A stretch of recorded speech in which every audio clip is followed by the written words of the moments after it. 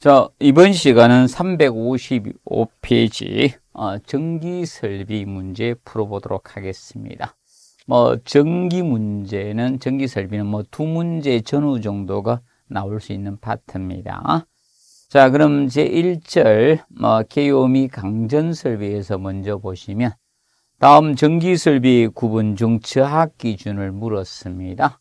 자, 그래서 올해 시험부터는 K시 규정, 한국 전기 설비 규정이 시험이 출제되기 때문에 어, 저하 기준이 직류는 1500V 이하, 1.5kV가 되겠죠? 이하. 그리고 교류는 1000V 이하가 저하 기준이 된다는 사실 정확히 알아두십시오. 그러면 고압은 한 선만 달라지는 거죠. 그러면 1500V, 직륜 1500 초과해서 7000V 이하. 그리고 어, 교류는 1000볼트 초과해서 7000볼트 이하가 되죠. 뭐 특별 과업은 동일합니다. 그래서 어, 1번은 어, 어, 교류가 1000볼트지 직류가 1500에서 4번이 정답이 되겠습니다. 그리고 2번 문제 보시면 어, 전기 설비에 관한 설명으로 옳지 않은 것 해가지고 나오죠. 그래서 먼저 1번에 전선의 저항은 전선의 단면적하고 반비례 관계죠. 그래서 비례 관계라 해서 틀렸습니다. 그러면 보통 우리가 저항 개념은 이거 있잖아요. 저항은 전선의 길이, 전선의 길이를 우리가 전선의 단면적으로 나눈 것이죠. 단면적. 그리고 어, 고, 전선의 고유 저항이죠. 뭐 또는 비저항이라고도 합니다. 분모는 반비례죠. 현재 어, 단면적은 4분의 어, 파이디의 자성이죠. 그런데 어, 전선의 굵기는 제곱이죠. 제곱의 반비례 관계가 되는 겁니다. 혼돈해서는 안 됩니다. 그리고 이제 전선의 저항의 길이가 길수, 길이하고는 비례 관계였습니다. 그리고 어, 3번 단상교의 유효 전력은 전압 곱하기 전류 곱하기 역률의 곱이죠. 곱으로 나타내 주시면 되고 그런데 삼상교류 루트 3만 더 곱해 주시면 되죠. 그리고 어, 역률은 유효 전력을 피상 전력으로 나눈 것이죠. 역률. 역률은 어, 이겁니다. 유효 전력을 분자에다 두고 분모에다 피상 전력을 둔 거죠. 그러면 피상 전력이란 것은 두 가지를 합한 것이죠. 피상 전력은 어, 유효 전력에다가 무효 전력 전혀 어, 에너지를 못 쓰는 어, 전력도 있죠. 무효 전력 두 가지를 합한 것이 영, 자 피상 전력입니다. 그러면 유효 전력비가 많다는 것은 결과적 에너지 효율이 좋다는 것이죠. 어, 무효 전력이 적다는 거니까. 그래서 보시면 되고 나눔값을 역류, 그래서 역류를 개선하기 위해서 이제 콘덴서를 설치하는데 콘덴서는 부하의 병렬로 배치를 한다는 점 기억을 해 두시면 됩니다. 그리고 3번 문제 보시면 어, 전기 설비에 관한 설명으로 옳지 않은 거 먼저 1번 1주기는 60Hz의 경우 자 60Hz는 1초간에 60분 반복했죠. 그러니까 60분 1초 개념 되겠죠. 그리고 1와트는 1초 동안 1줄의 일을 하는 일률이 1와트의 개념이죠. 그래서 이제 그래서 1kW는 3,600kJ이 되는 거죠. 그리고 35ohm의 저항을 3개를 병렬로 접속했다. 합성 저항에 대해서죠. 35ohm의 저항을 3개를 병렬했네요. 그러면 어 30분의 저항은 역순이니까 플러스 30분의 1 플러스 30분의 1. 자, 그러면 30분의 3이죠. 그럼 분의 1이잖아. 그럼 1분의 1이니까 자, 내항은 내항, 외항에게 3분의 30 되니까 자, 15옴 되겠네. 15옴. 합성장은 자, 그리고 4번에 고유저항이 일정할 경우 전선의 굵기와 길이에 각각 두배로 증가하면 저항은 두배가 된다. 자, 전선의 굵기하고 길이를 갖다가네. 전선의 굵기. 자, 이거죠? 단면적이 아니에요. 전선의 길이. 그럼 위에 분모 2네? 근데 이거는 굵기라 해서 단면적이면 우리가 2분의 2가 되죠. 똑같은데 이거죠. 굵기를 두 배 정해요. 그럼 굵기는 제곱배입니다. 그럼 2의 자성이잖아. 그러면 여기서 4분의 2가 되니까 얼마다? 2분의 1이죠. 4분의 2니까. 자, 그래서 2분의 1이 되는 겁니다. 그래서 4번이 틀고, 어, 그래서 이제, 그래서 이제 4번을 잘 봐놔야 돼요. 그래서 이제 단면적인지 굵기인지 정확히 보시고 우리가 하셔야 됩니다. 자, 그리고 이제 4번 문제 보시면 전력 설비에 관한 설명으로 옳지 않은 거. 자, 분전반은 보수나 조작이 편리하도록 복도나 계단 부근에 벽에 설치하는 것이 좋습니다. 그리고 분전반은 배전바로 배선을, 배선을 분기하는 계수 설치하는 게 분전반, 보통 패널 보드라 하죠. 그리고 UPS는 교류의 무정전 전원 장치를 UPS라 하죠. 그리고 전선의 굵기 선정 시 허용 전류나 전압 강화, 기계적 강도 등을 고려해서 전선의 굵기를 선정합니다. 그리고 부등률이 높을수록 설비 이용률은 높은 거죠. 자, 부등률이라는 것은 이게 부등률이죠. 부등률. 자, 부등률이란 것은 보통 분모에다가 합성 최대 수용 전력을 두는 거예요. 합성 최대 수용 전력을 자, 분모에다 두고 자, 분자에는 무엇을 다? 부하 각각의 부하 각각의 최대 수용 전력을 둔 거죠. 합성은 적어져요. 각각이 커지죠. 플러스 한 것이. 각각의 최대 수용 전력의 합계를 둔 거예요. 합계. 이걸 백분율 한기 부등률이죠. 그럼 얘는 100% 퍼낸 거 1보다 큽니다. 그래서 이것이 최대 수용률, 근데 합성 최대 수용 전력 부문하는 이 부등률, 부등률이 높을수록 설비 이용률, 그러니까 변압기 이용률이 좋다는 것을 의미하고 있는 겁니다. 그 점을 우리가 알아두시면 되겠습니다. 그래서 어 이제 5번 개념은 그래서 틀렸습니다. 4번은. 그리고 5번 문제 보시면 50Hz 지역의 기기를 60Hz 지역에 사용했을 경우 전동이 일어나는 현상에 대해서 해놨습니다. 그러면 어, 자, 그 주파수 증가제가 50Hz인데 60Hz 주파수를 증가했을 때 어떤 효과가 있네, 이거죠? 주파수가. 그래서 이제 그럼 주파수가 증가되니까 뭐 당연히 이제 회전수는 증가되겠죠. 뭐 전동기 회전수 증가되면서 그러면 회전, 주파수가 증가되니까 무부하 전류는 감소가 됩니다. 그리고 어, 역률이 양호해 주겠죠. 역률이 양호해 줌으로써 효율도 당연히 상승하겠죠. 그러면 전격 출력은 증가되겠죠. 감소가 아닌. 그래서 5번 개념이 틀렸습니다. 음. 자, 그리고 6번에 보시면 어, 전기 설비에 관한 설명으로 옳지 않은 것 해가지고 나왔습니다. 자, 변압기 한 대 용량 산정 건물 내에 설치 장소에 따라 뭐 건축 장비, 반입구, 반입 통로, 바닥 강도 등을 고려해 줘요. 이 변압기 좀 무겁거든요. 철심 막 이런 게 돼서 그리고 어 이번에 통합 접지는 개통 접지, 통신 접지, 피례 접지, 접지 통합을 해서 접지하는 어, 방식 접지 도체를 통합 접지라 해요. 그럼 이제 통합 접지 때문에 어, 전기 설비를 보호하기 위한 장치들이 필요하죠. 거기 이제 서지 보호 장치라서 SPD라 해요. 낙뢰에 의해서 여러분들 전기 설비를 보호해 줘야 되겠죠. 그래서 서지 보호 장치인 SPD가 필요한 겁니다. 그리고 3번에 공동주택의 세대당 부하 용량은 단위 세대 전용 면적 85제곱 이하의 경우는 어, 3kW로 우리가 해주시면 되겠고 그런데 틀렸죠. 자 그러면 3kW라는 거 들고 보통 60제곱미터 이하일 때 3kW로 합니다. 60제 소형 평수. 그러면 20, 어, 몇 평이죠? 그거 이하. 그러면 6, 24평형, 뭐 5평 이하가 이거 60제곱이죠. 그래서 이때는 3kW로 하고, 그 다음에 60제곱미터 넘는 어, 10제곱미터당 0.5kW 추가하면 돼요. 그러면 85가 되면요, 어, 이제 60을 초과하는 우리가 10제곱미터니까 80, 그래서 어, 1.5kW 추가하면 되죠. 그러면 대략 어, 85는 4.5kW로 해야 돼요. 그래서 어, 개념이 3번 개념이 틀린 겁니다. 그리고 4번에 전압 구분상 직류의 고압 기준은 1500볼 어, 초과해서 7000볼트 이하죠. 그리고 전동기 역류를 개선하기 위해서 이제 콘덴서를 설치해 주시면 됩니다. 자, 그리고 이제 7번 문제 보시면, 뭐, 전기 설비에서 이제 23회 때 나왔던 거죠.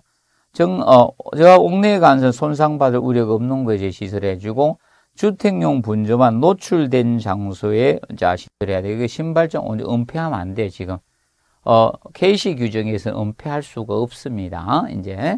그리고 전력용 반도체 소재 스위칭 장비에서 교류 전력을 직류전으로 변환한 장치가 인버터가 아니고 얘는 직류를 교류로 변환해야 되죠. 인버터는 직류를 교류로 변환하는 게 인버터예요. 그러면 교류를 갖다가 직류로 하는 것은 컨버터라 합니다. 자, 이제 이 이것은 컨버터고, 음, 컨버터.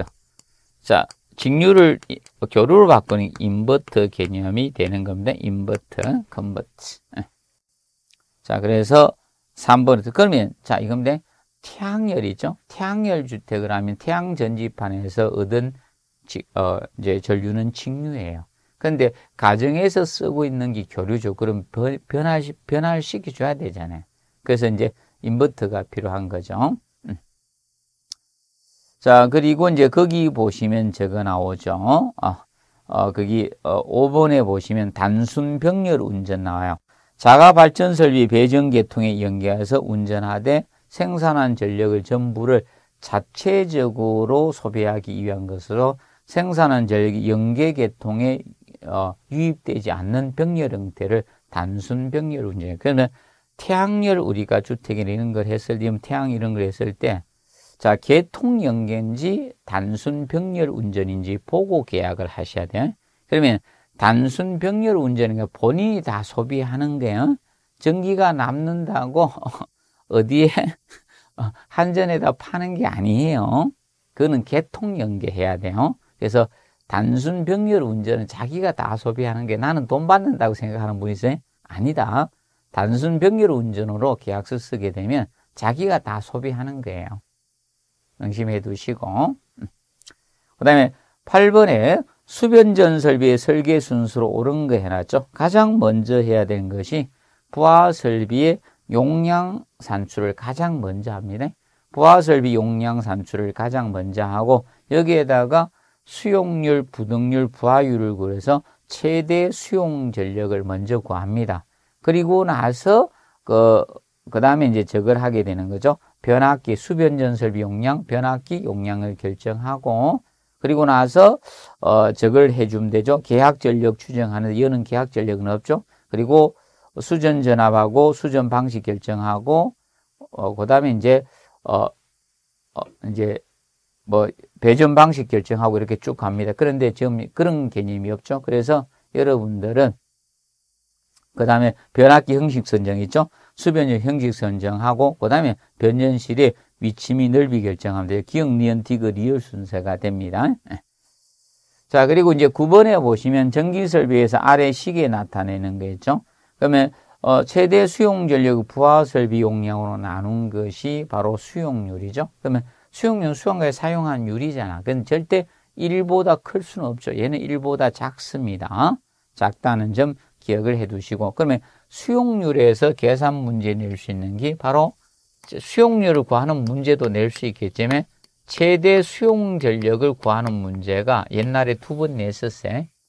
수용 전력 구하는, 최대 전력 구하는. 그러면 이거는 부하 설비 용량이 따로 하나하나 더 합하셔가지고 부하 설비 용량에다가 수용률을 곱해서 최대 수용 전력 구할 수가 있는 겁니다.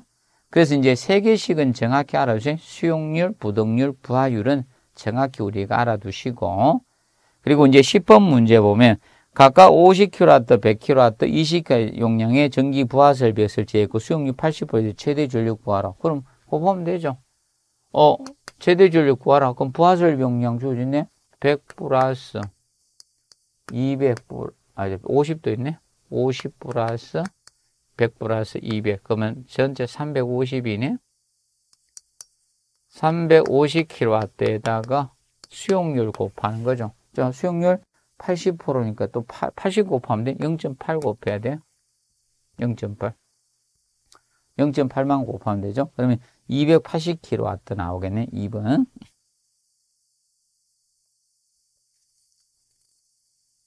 자, 그리고, 자, 8번.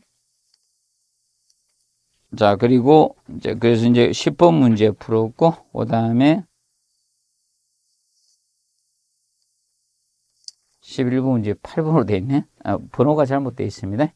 360페이지. 자, 최대 수용 전력 구하는 식은 이거죠. 부하 설비 용량 곱하기 수용률 해주면 되죠. 그래서 어, 바로 1번이 되겠네요. 1 부하 설비의 수용률. 자, 그리고 어, 그 다음에 이제 12번 문제 평균 수용 전력을 구하는 식에 나죠. 평균 수용 전력을 구하는 식은 어, 부하율식에서 하면 되죠. 부하율. 자, 부하율이 이거잖아요. 자, 분모가 최대 수용 전력이 두잖아요. 그리고 수용 전력이고 분모가 평균 수용 전력이죠. 곱하기 100%로 한 게 부하율이죠. 그러면 이 평균 수용 전력은 얘를 앞으로 빼는 거죠. 평균 수용 전력은 최대 수용 전력을 구해 가지고 이거에서 최대 수용 전력 구했잖아요. 구해 가지고 부하율을 곱해서 계산하면 되죠. 이래 되니까. 자, 그래서 정답은 3번이 어, 되겠네. 3번.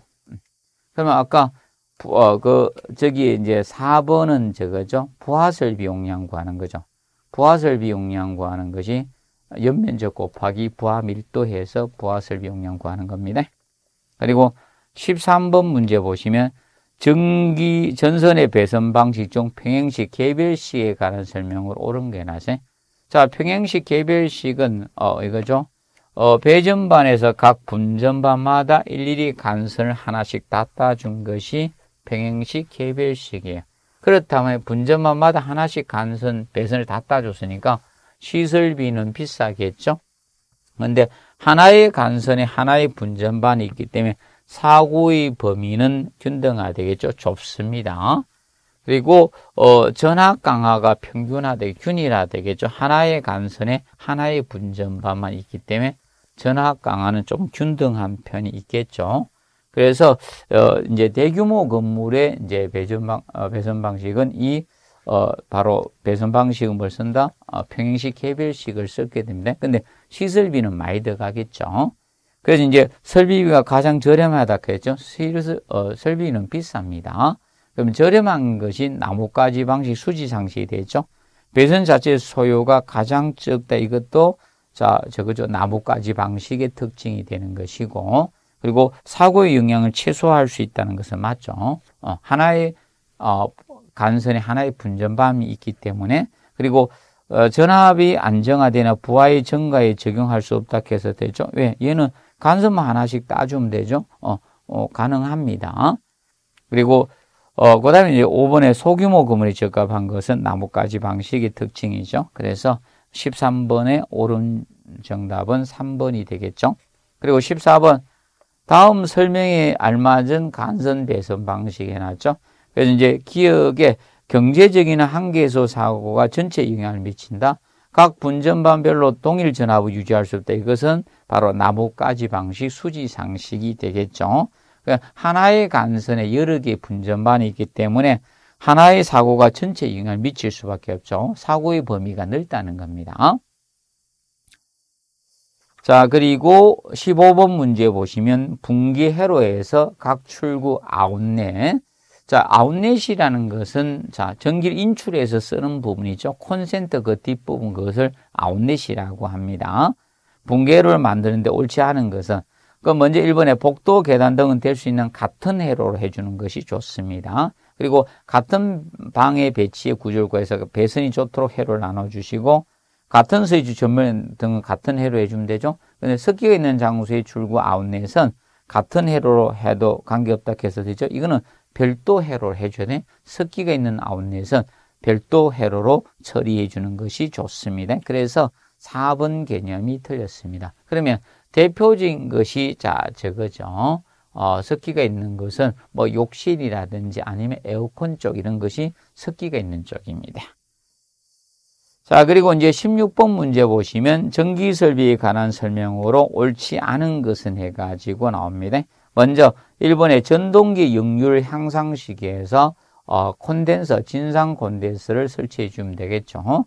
그리고 분계 2번에 분계로의 별도의 분기 개폐기를 설치해서 사고 시 피해 범위를 어, 제한을 해 주시면 되죠. 그래서 일일이 차단기를 하나씩 설치하는 거죠.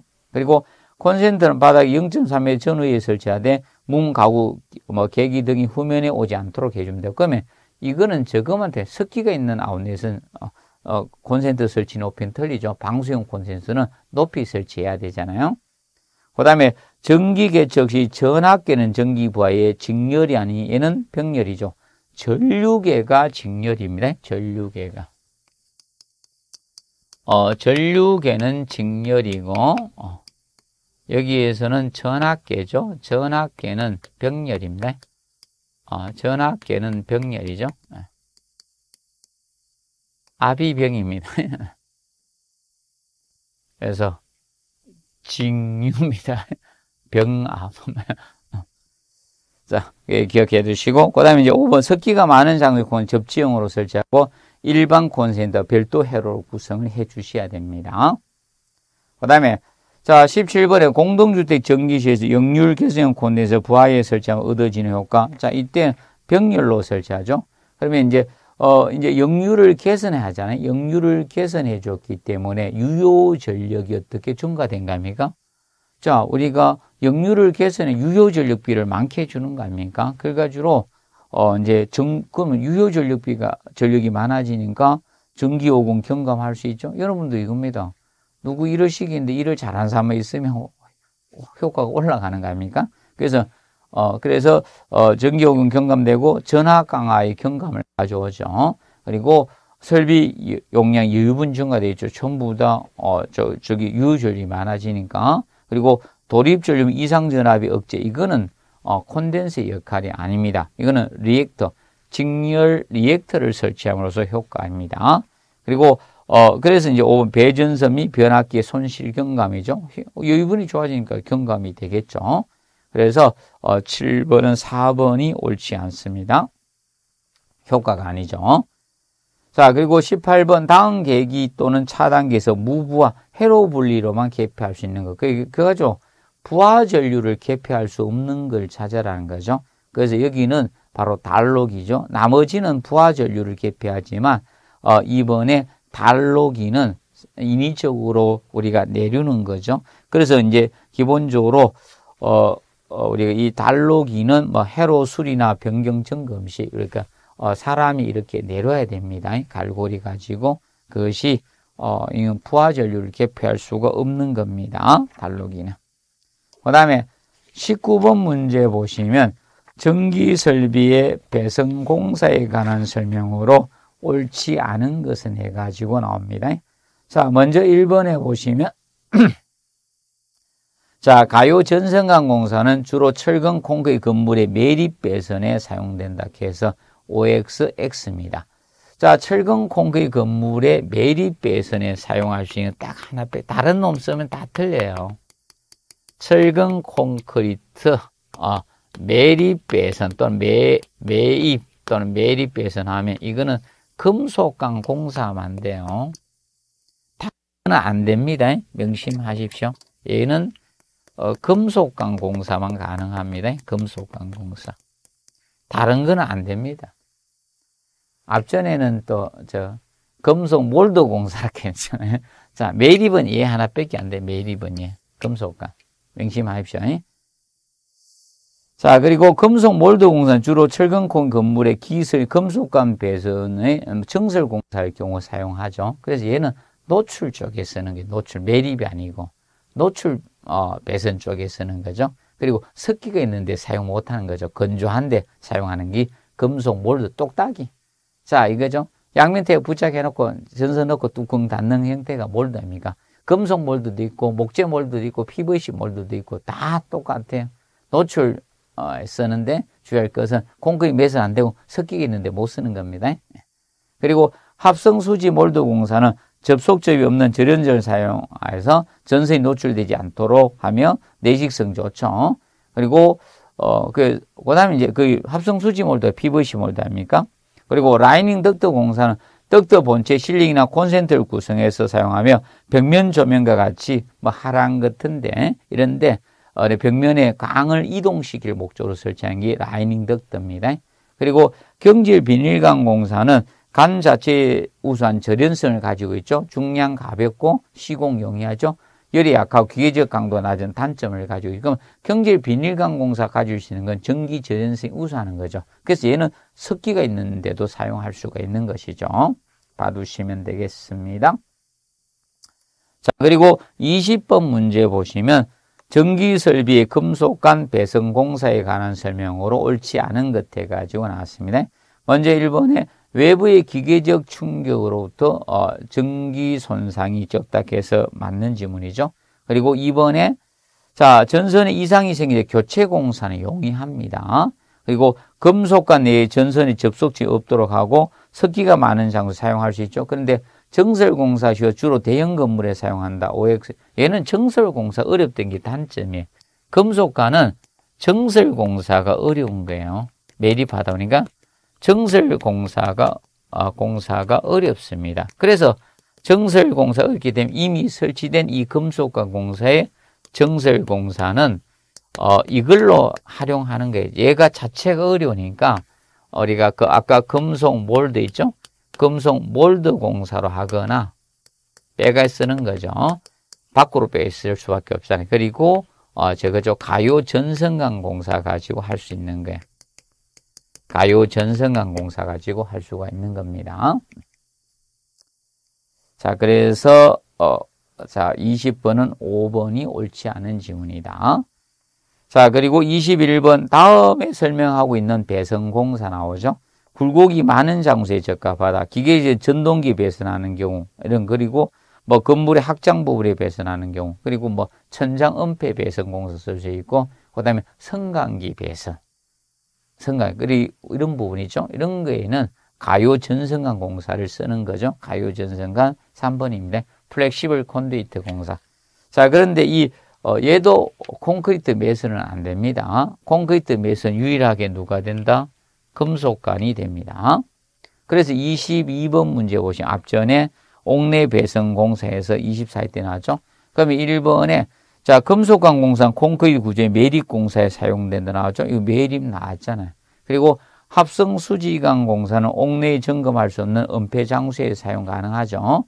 그리고 버스 덕트 공사 공장의 빌딩이 비교적 큰 전류를 통하는 간선 시설한 경우 버스 안 되면 그죠? 큰 빌딩 이런 데 돼야지. 버스 운행하죠. 이렇게 보십시오.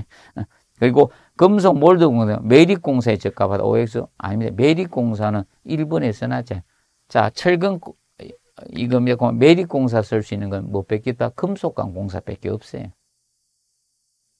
그걸 명심해 두시면 됩니다.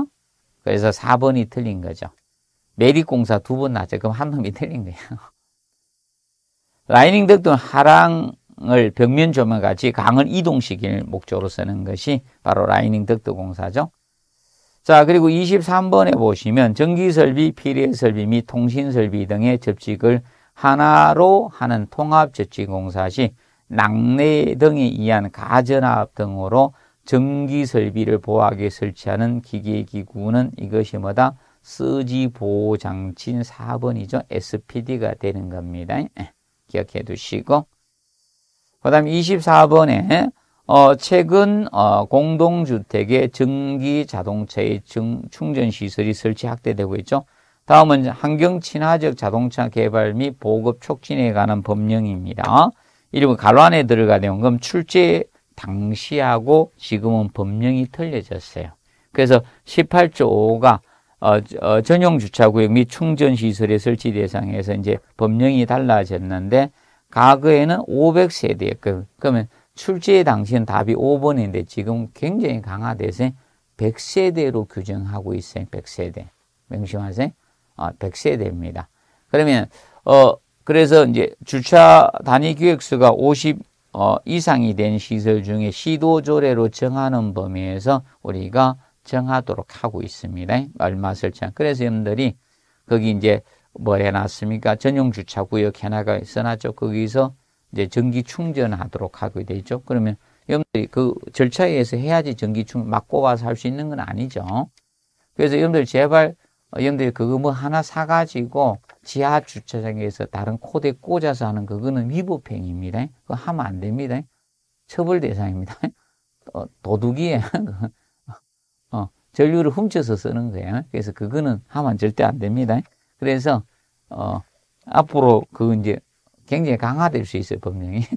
잘못하면 주의하십시오. 그래서 어, 100세대 기준으로 바뀌었다는 점 기억해 두시고 그리고 25번 문제 보시면 환경 친화적 자동차 개발 보급 촉진 관한 법령의 일부에 갈로 안에 들어가 있죠. 이게 충전 시설 종류 수량에서 급속 충전 시설하고 완속 충전 시설 두 가지로 나눠집니다. 그러면 기준은 40kW가 기준이 됩니다. 40kW. 40kW 가지고 이거 이상이면 급속이에요. 급속 충전은 급속 충전은 이상이고 미만이 완속이다. 미만이 완속입니다. 그래서 한국 사람들이 좋아하는 것은 급속이죠. 그래서 우리는 빨리빨리를 좋아해가지고 앞으로 뭐 저기에서 주차를 할 겁니다. 우리나라 이제 횡단보도 완차 주차하는데 거기에도 쫙 깔아가지고 이제 전기차 이제 딱 서게 되면 자동으로 아마 충전하도록 아마 안 하겠습니까? 어, 운행하면서도 충전. 그러면 이제 이제 이 그게 이제 잘 돼 있어야 되겠죠. 차 번호 읽어가지고 자동 충전하면 전기세 내는 거 있죠. 해야 되니까. 그래서 이제 그런 기술 다 개발해야 되겠죠. 어, 충전. 뭐 그 개발하고 있긴 있습니다. 충전하면서. 그러면 무선으로 네트워크 연결해가지고 있죠. 아, 그 차에게 또 전기요금 부과해야지 또 엉뚱한 차에다 부과할 수는 없잖아요. 그래서 그런 기술 지금 개발하고 있고요. 그래서 이번 시간 여기까지 하고 뭐 제2절 기타 설비는 뭐 잠시 휴식하고 마지막으로 풀도록 하겠습니다.